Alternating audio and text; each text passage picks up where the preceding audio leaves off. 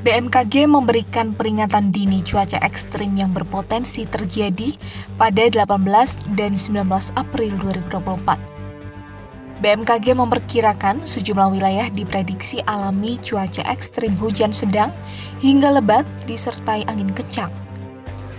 Bahkan menurut perakiraan cuaca yang dilihat melalui akun Instagram @info_bmkg, BMKG memprediksi kondisi cuaca sepekan ke depan akan diwarnai adanya peningkatan curah hujan dengan intensitas bervariasi.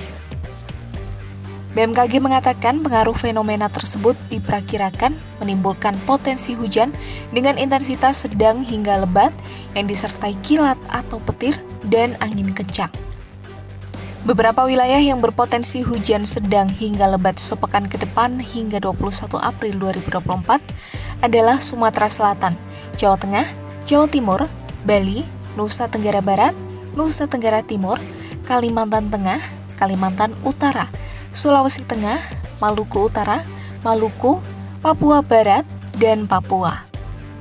Dampak yang ditimbulkan dari cuaca ekstrim ini yakni dapat berupa banjir, tanah longsor, banjir bandang, genangan, pohon tumbang, dan jalan licin.